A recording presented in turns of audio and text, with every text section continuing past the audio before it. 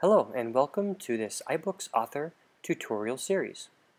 In this series, I'll have a collection of short videos demonstrating the various functions and tools included in iBooks Author. This first video will be a brief overview. When you open up the iBooks Author program on your Mac, you'll first be presented with this template chooser where you can choose from two types of templates, including uh, pre-made designs and blank templates.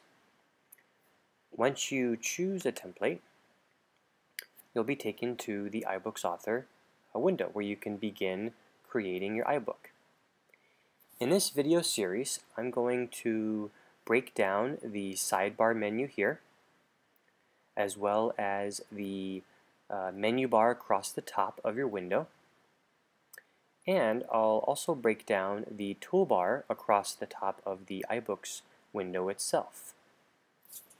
In the next video, I'll uh, talk further about the template chooser. Thanks for watching, and if you have any comments or questions, or if you think I missed anything important, feel free to add them in the comments of this video. Thanks.